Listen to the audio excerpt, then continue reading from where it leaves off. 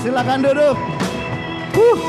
Tadi saya lihat beberapa dari saudara kesempatan colok teman sebelahnya. Bertobatlah, kerajaan Allah sudah dekat. Haleluya. Sebelum saya mulai, saya mau tanya ada yang baru pertama kali datang ke ICCC? Kalau ada bisa angkat tangannya. Nggak ada? Oke, berarti itu bangku sebelah masih kosong. Saudara memiliki tugas untuk keluar. Jadikan semua bangsa muridku dan baptiskanlah mereka dalam nama Tuhan Yesus Kristus. Amin. Haleluya. Hari ini saya ingin berbicara tidak panjang. Hanya kira-kira dua menit. Prayernya. Khotbahnya empat jam. Jadi sampai sore tak pindah ke Cepol ntar ya. Kita mau bicara tentang yang namanya sudah udah kenal yang disebut Immanuel. Semua bilang Immanuel.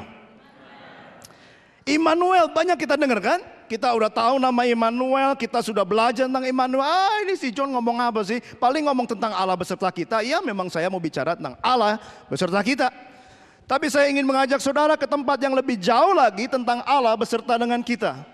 Immanuel itu kalau kita lihat kalimatnya bukan cuma artinya Allah beserta kita, bahwa Allah beserta kita, Allah ada sama kita. Tapi artinya is more than that. Ada sesuatu yang Allah ingin katakan di dalam Allah beserta dengan kita. Kata Allah yang dipakai di situ saudara, coba kita sama buka. Di dalam Matius 1 ayat 23. Ini waktu Yesus lahir, Matius 1 ayat 23 saya nggak pakai proyektor kalau sudah perhatikan sudah beberapa kali saya nggak pakai proyektor karena saya ingin sekali sudah nggak lihat sono tapi lihat muka yang satu ini. Yang namanya John Halim right? Buka Alkitab saudara kalau sudah nggak bawa kitab bisa temannya pinjam sebelah kiri kanannya. Kalau nggak kasih senggol sedikit laporkan kepada Deacon. Matius 1 ayat 23 yang sudah dapat bilang amin. Yang belum haleluya. Oh, masih ada. Sudah dapat semua Matius 1 ayat 23. Begini firman Allah. Sesungguhnya anak darah itu maksudnya Maria.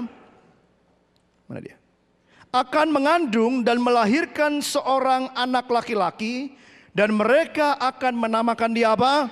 Immanuel yang artinya Allah menyertai kita. Kita mungkin biasa dengan kalimat ini, oh Allah menyertai kita. Kata Allah yang dipakai saudara itulah theos. Artinya satu oknum yang divine oknum. Sesuatu yang luar biasa. Punya sifat ketuhanan. Kalau kita dengar kata Allah dalam Alkitab, artinya sesuatu yang tidak diciptakan, sesuatu yang ada sebelum semua ada, sesuatu yang dahsyat, sesuatu yang sovereign, sesuatu yang besar, sesuatu yang menciptakan saudara dan saya, suatu oknum yang dahsyat dan tidak ada lawannya. Saya ingin saudara untuk mengerti hal ini dulu. Allah dalam Alkitab yang duduk di sini adalah Allah yang memiliki segala sesuatu. Yang ada di dalam sesuatu. Yang punya sesuatu yang tidak diciptakan, yang ada sebelum semua ada, yang awal dan yang akhir. Nah, Allah yang seperti itu, dengar baik, itu yang menyertai saudara. Wow, karena kalau kita nggak ngerti Allah itu, Allah menyertai kita, kita pikir-pikir seperti mamah kita nyertai kita kalau jalan-jalan ke pasar. Kaya itu kita pikir seperti teman kita di sekolah menyertai kita. No, no, no, no. Ini bukan orang biasa yang nemenin kita. Yang menemani kita adalah Alfa dan Omega. Allah yang luar biasa. Allah yang luar biasa. Immanuel, Allah beserta kita. Nah saya mau ajak saudara ke satu cerita. Tentang kerajaan Israel yang terpecah dua. Kalau saudara tahu sejarahnya Alkitab, dulu ada bangsa Israel kan? Waktu bangsa itu tiba-tiba ada yang memberontak. Salah satu pimpinan Israel berontak. Lalu terpecahlah bangsa ini menjadi bangsa Israel dan yang satunya bangsa Yehuda. Dulu cuma satu Israel, tapi yang sekarang jadi Israel dan Yehuda. Yehuda dipimpin oleh Rehobeam Israel dipimpin oleh Jerobeam. Dan dua bangsa yang pecah ini berkelahi. Nah, pada saat cerita yang akan kita baca ini, Jerobeam itu raja Israel itu sedang lagi kong kali kong sama yang namanya bangsa Aram. Lagi ada ada allied, apa namanya? Uh, apa namanya? Uh, bersekutu dengan Aram untuk apa? Untuk menyerang bangsa Yehuda. Untuk bikin hancur bangsa Yehuda. Dia menyerang ke Yerusalem yang adalah ibu kota bangsa Yehuda. Nah, coba kita lihat ceritanya apa yang terjadi dalam Yesaya pasal yang ke-8. Yesaya pasal yang ke-8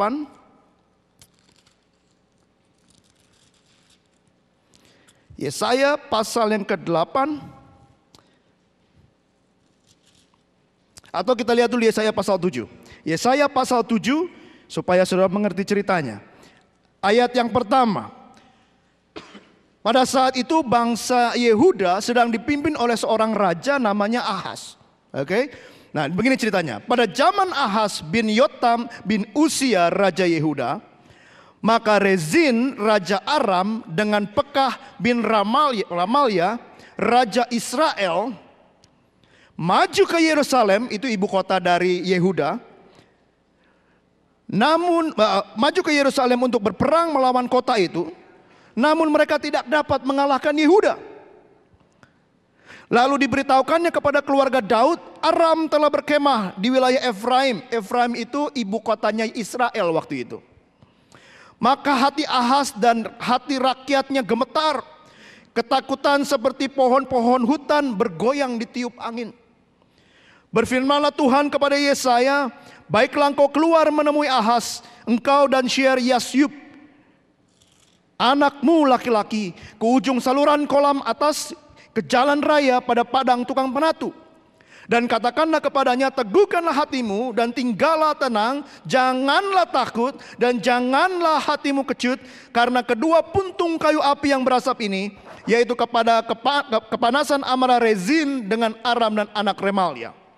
Oleh karena Aram dan Efraim dengan anak Remalia telah merancang yang jahat atasmu dengan berkata, marilah kita maju menyerang Yehuda dan menakut-nakutinya serta merebutnya. Kemudian mengangkat anak Tabiil sebagai raja di tengah-tengahnya. Maka beginilah firman Tuhan Allah, tidak akan sampai hal itu akan dan tidak akan terjadi sebab Damsyik ialah ibu kota Aram dan Resin ialah kepala Damsyik. Dalam 65 tahun Efraim akan pecah, tidak menjadi bangsa lagi. Dan Samaria ialah ibu kota Efraim. Dan anak Remalia ialah kepala Samaria. Jika kamu tidak percaya, sungguh kamu tidak teguh jaya. Saya stop sampai situ.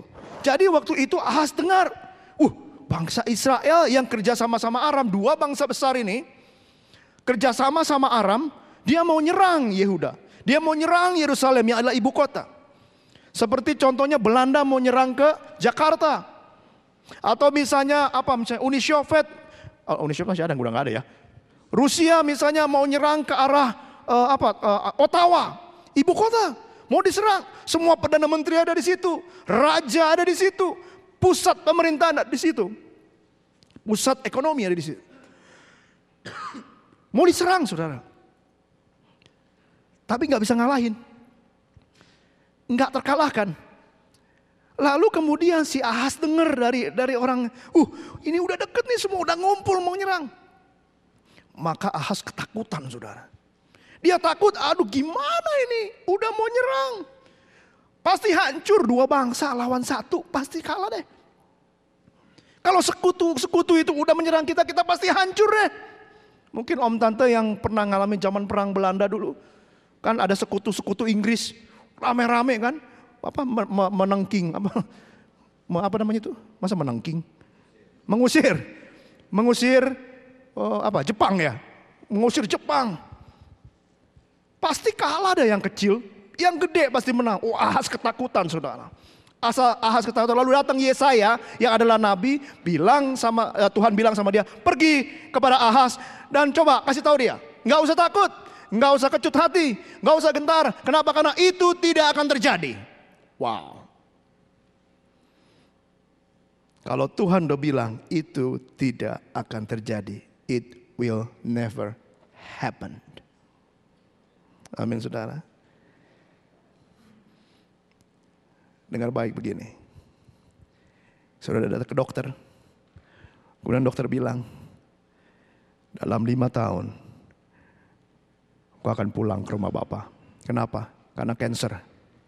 Karena sakit A, sakit B, sakit C. Mungkin pengusaha yang terkenal datang kepada saudara dan bilang, ngelihat bisnis kamu dalam lima tahun, kamu akan bangkrut. Dengar baik. Kalau Allah yang adalah Immanuel datang kepada saudara dan katakan itu tidak akan pernah terjadi. Dia pasti lakukan. Tidak akan pernah terjadi. Ahas dikasih tahu gitu sama Yesaya. Nggak mungkin terjadi. Bilang sama dia.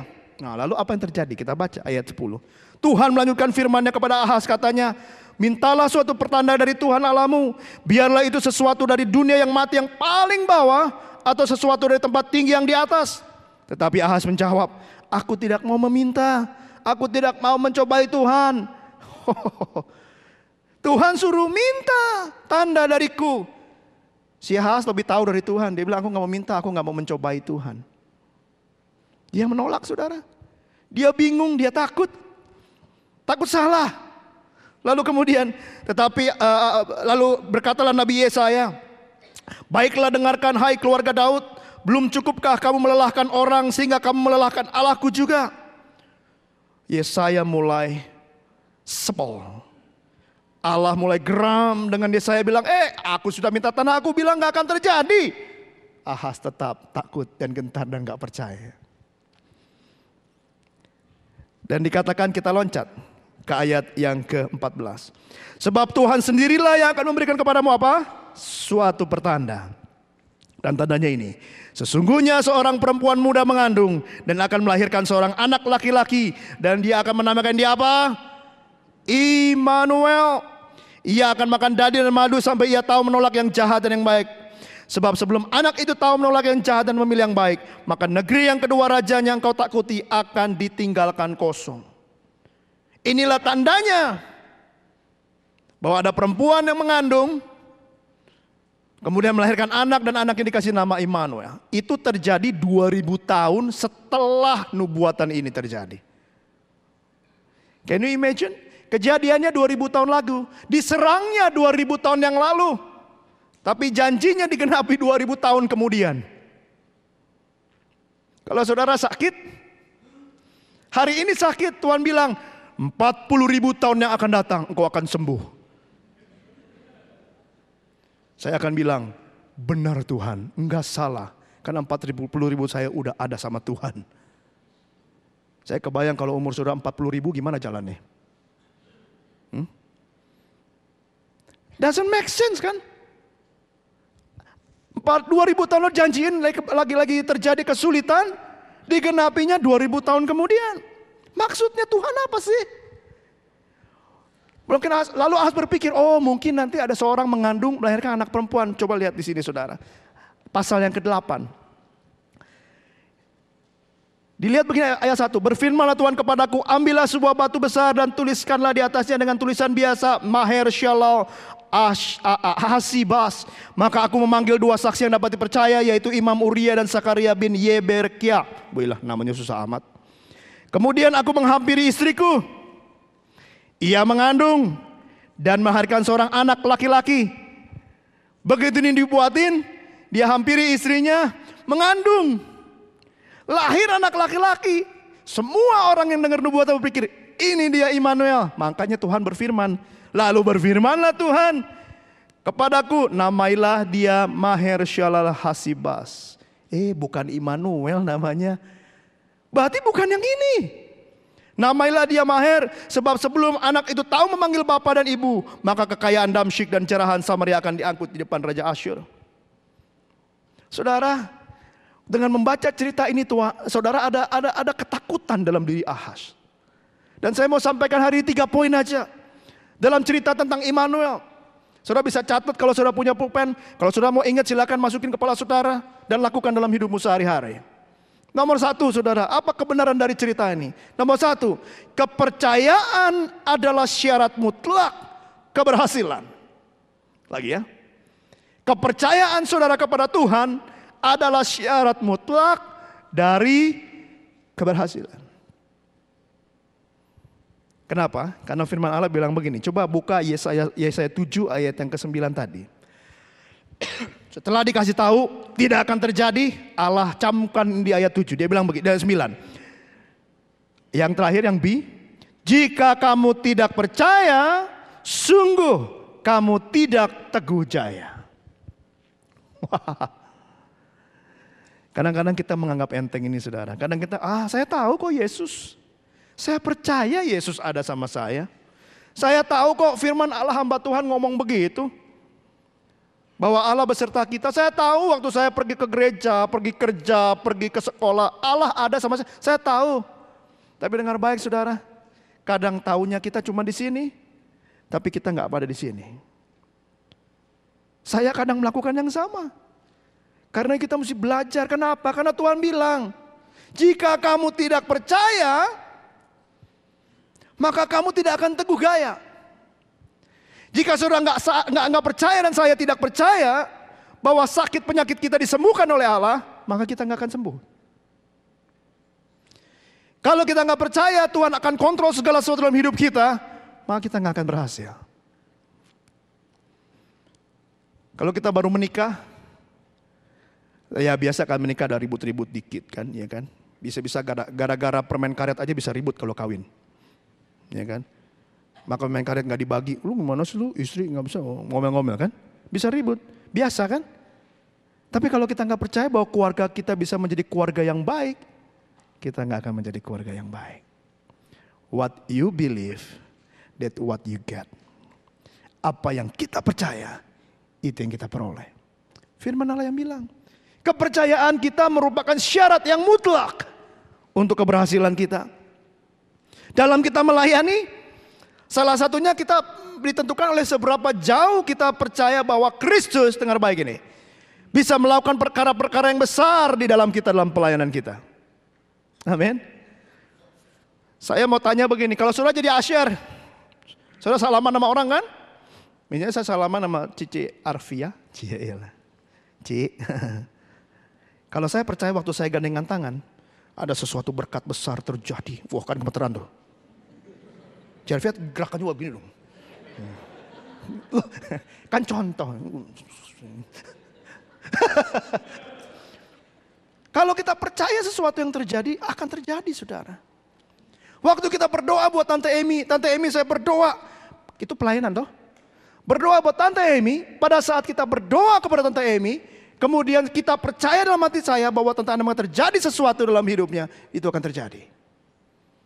Kepercayaan adalah syarat mutlak keberhasilan saudara.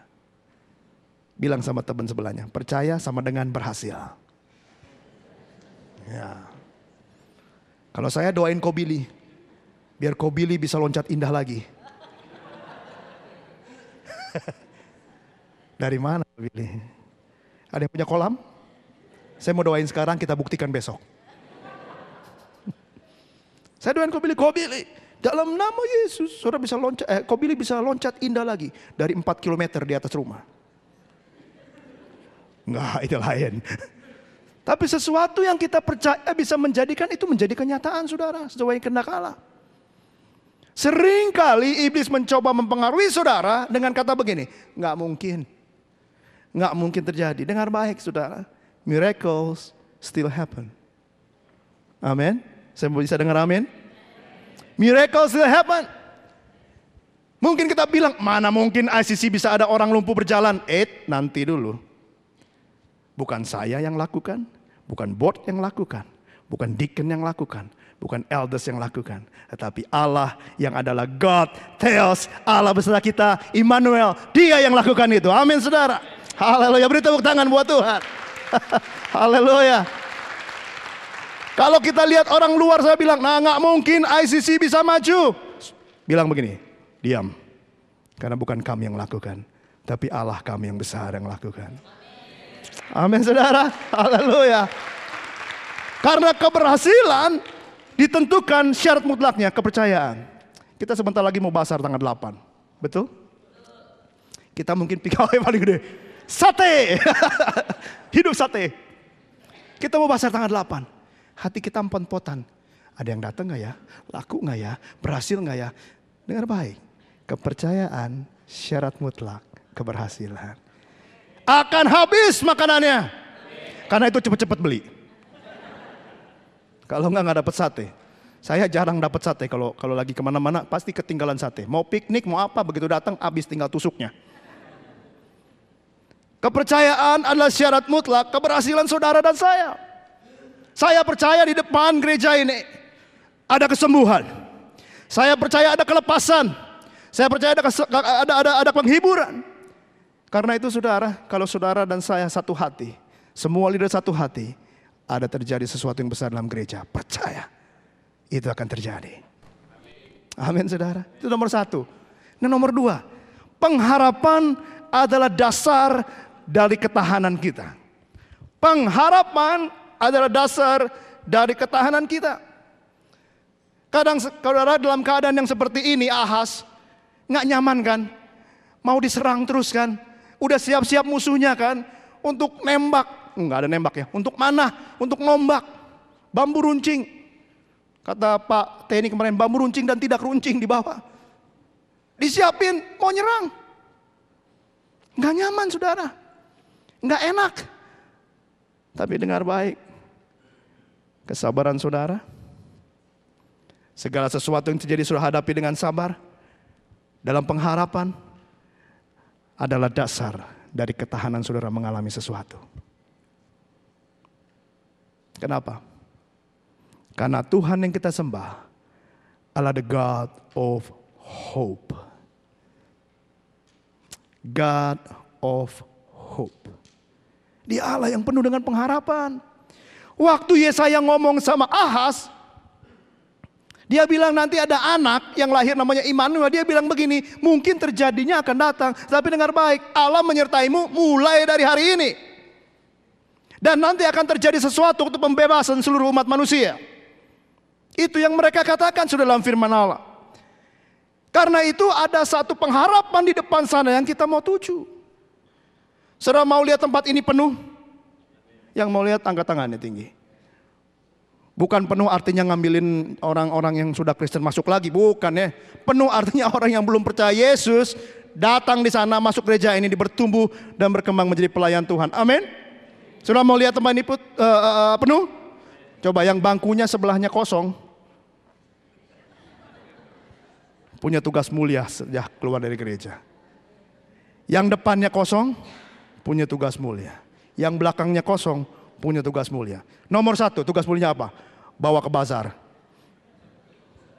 Beli sate. Satenya katanya ditambah. Nomor dua, bawa kepada Tuhan. Saudara yang kekasih, ada pengharapan terjadi. Mungkin sudah pikir, nggak mungkin di gereja penuh. No. Tuhan bilang, kalau dua tiga orang berkumpul dalam namaku, aku ada di situ. Dan Tuhan bilang begini, Apolos yang menabur, Paulus yang menyiram, siapa kasih pertumbuhan? Tuhan yang kasih pertumbuhan. Oh haleluya. Kerjaan kita lebih ringan daripada Tuhan. Coba kalau saudara menanam pohon, istri saya sedang menanam pohon. Pohon apa aja tanam, termasuk pohon duren. Jadi kalau minta duren nanti 40 tahun lagi ya. Pohon aja tanam. Coba kalau nanam, yang gampang apanya? Beli bibitnya, gali tanahnya, nanamnya, sama nyiramnya. Coba suruh numbuhin pohon. Susah? Susah. Leave it to God. Kita bicara tentang Injil. Kita katakan semua tentang Injil. Kita cerita sama orang tentang kebaikan Tuhan. That's easy part. Yang susah apa? Bikin dia bertobat. Tapi firman Tuhan bilang gini, rohnya yang kudus, dia yang memimpin orang menuju kebenaran. Bukan kita saudara. Karena itu butuh kesabaran. Perubahan tidak bisa terjadi dalam satu hari. Pertolongan mungkin Tuhan akan tunda sampai satu minggu, dua minggu atau setahun, dua tahun. Tapi yang pasti adalah God is with me, God is with you, God with this church. Allah beserta dengan gereja kita. Dan ada pengharapan dalamnya. Karena itu kita mesti bertahan. Kalau kita punya pengharapan dalam Allah, kita pasti bertahan. Kita pasti sanggup hadapi segala tantangan. Amin. Kita pasti sanggup untuk mengalahkan semua rintangan yang ada. Karena Tuhan beserta dengan kita. Dalam pelayanan yang kita hadapi, mungkin kita mengalami ketidaktahanan, eh ketidaksabaran saudara. Kita mengalami tantangan-tantangan yang luar biasa dalam pelayanan. Mungkin ada benturan satu dengan yang lain. Mungkin ada ketidakpuasan. Mungkin ada sesuatu yang di luar pengharapan kita. Mungkin program-program kita macet. Mungkin tantangan di sana, tantangan di sini. Jangan khawatir. Kenapa? Karena Tuhan yang kasih pertumbuhan. Ada pengharapan di depan sana. Ada sesuatu yang Tuhan janjikan. Saya ingin katakan begini. Kalau Tuhan yang sudah membangun, tidak ada yang bisa merobohkan. Itu janji Allah. Saya percaya betul. Dan saya ingat waktu uh, Yesus tanya kepada Petrus, Petrus, siapa saya? Petrus bilang apa? Kau adalah Mesias, anak Allah. Lalu Yesus bilang apa? Di atas batu karang inilah aku akan membangun gerejaku. Selama kita percaya bahwa Yesus adalah Mesias anak Allah, Allah akan membangun gereja ini. Selama dasar kita Yesus ada di Savior of the Lord. Selama kita percaya Yesus juru selamat pribadi kita. Selama Yesus memiliki nama segala nama dalam gereja ini. Allah akan membangun gereja ini. Sampai kesudahan akhir zaman. Dia tidak akan berhenti. Dan tidak ada satupun yang bisa merobohkan. Itu pengharapan yang Tuhan kasih buat gereja ini. Amin. Yang ketiga, yang terakhir saudara. Pertama kepercayaan adalah syarat mutlak keberhasilan. Yang kedua pengharapan adalah dasar apa? Ketahanan. Yang ketiga, kedamaian adalah hasil dari kebenaran. Kedamaian adalah hasil dari kebenaran. Ketika Ahas saudara terus menerus terus menerus ditakuti. Kalau saudara baca pasal 8 ayat 23 judulnya lain. Judulnya kelahiran Raja Damai. Jadi di tengah-tengah kericuhan Ahas dengan bangsanya waktu itu ada janji Allah. Kemudian saudara kedamaian Allah dicurahkan buat Ahas dan bangsa Yehuda. Kalau sudah lihat sejarahnya bangsa Israelnya akhirnya punah. Nggak ada lagi bangsa Israel. Yang ada tinggal bangsa Yehuda terus menerus sampai akhirnya. Sampai sekarang. Keturunan Daud. Kedamaian pasti terjadi. Nah, kedamaian itu adalah hasil apa? Hasil kebenaran yang Yesus kerjakan dalam hidup kita. Seringkali istri saya bilang begini. Sudah tahu istri saya kan, yang paling cantik sedunia? Menurut saya, right? Tidak ada yang bisa mengalahkan. Istri saya begini, kalau saya lagi kesel gitu ya, lagi aduh capek hati gitu ya, sejak kawin maksud saya bukan capeknya sejak kawin. bukan, maksudnya kalau ada masalah-masalah gitu ya. Bukan perkawinan misalnya di luar dalam pelayanan. Saudara ngurus gereja itu nggak gampang. Right? Kadang-kadang ada sebelnya, ada keselnya ya. Mau ngomong susah, nggak ngomong susah gitu ya. Kayak kemarin Pak ini gemuk salah, kurus salah ya kan. Gemuk disangka maruk, tahu maruk? Serakah, kurus disangka nggak punya iman. Ya kan? Maka saya bilang mendingan perut saya saya gedein dikit. Imbang, no? Right? Kalau kenapa perutnya gede? Tanda kemakmuran dari Tuhan. Kenapa kurus? Menyimbangkan dengan faith dan puasa. Saya ngomong apa tadi? Kenapa jadi ngomong perut ya?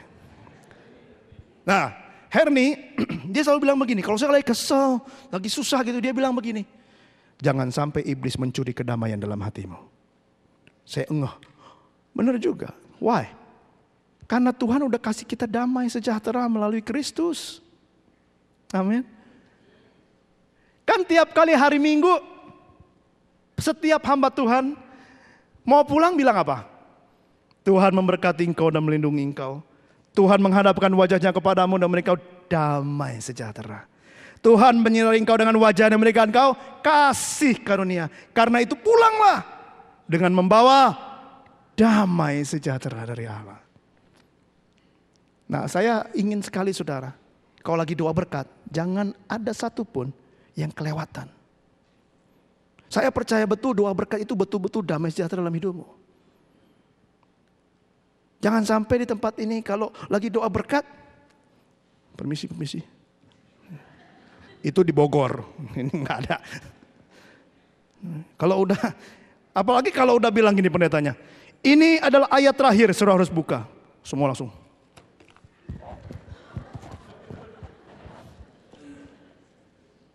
Buka lipstick. Mau ke mana? Shopper Dakmat. belum doa berkat. Udah siap-siap. Doa berkatnya, Tuhan ini kok udah pegang bangku. Amin. Kenapa? Subway jam 15. Jangan saudara. Kenapa? Karena doa berkat itu adalah buat saudara. Saudara pulang dengan membawa damai sejahtera dari Allah. Amin. Doa berkat itu betul-betulan doa berkat. Karena itu kalau saya berharap kalau kalau ada sesuatu persiapkan sebelumnya. Jadi waktu doa berkat, terima berkat semuanya. Pulang membawa damai sejahtera. Nah kalau pulang bawa damai sejahtera, kita masih nggak damai, something wrong, right? Karena Tuhan janji damai sejahtera kuberikan kepadamu. Artinya, someone steal your peace. Artinya kita izinkan damai itu hilang. Saudara yang kekasih, kalau kita tahu kebenaran, bahwa Allah sudah memberikan damainya melalui anaknya Yesus. Dalam setiap pelayananmu, dalam setiap apa yang kau lakukan, dalam hidupmu, pasti ada damai. Pasti ada damai. Ada satu lagu sebelum saya ke sini, sudah tahun 2004. Saya sedang rapat dengan Badan Pengurus Pusat Assemblies of God Indonesia waktu itu. Rapat tentang bagaimana membuka sebuah uh, sekolah sekolah musik di GSJA untuk orang-orang yang mau belajar bagaimana menjadi pendeta bagian worship. Kita lagi bicara-bicara terus celah berdoa dia nyanyi lagu ini. Saya pernah ajarin di sini. Kalau ku cari damai hanya ku dapat dalam Yesus. Kalau ku cari ketenangan hanya ku peroleh di dalam Yesus. Tak seorang pun sanggup menolongku Tak seorang pun sanggup menjagaku. Hanya Yesus harapan hidupku. Begitu saya dengar lagu itu, hati saya betul-betul dikuatkan saudara. Kalau aku cari damai, hanya ku dapat di dalam Yesus. Saudara cari damai di gereja, nggak akan dapat. Saudara cari damai di pastor, nggak akan dapat. Saudara cari damai di tempat luar, di pub, di uang, di sekolah, di mana pun kau akan cari, kau akan dapat.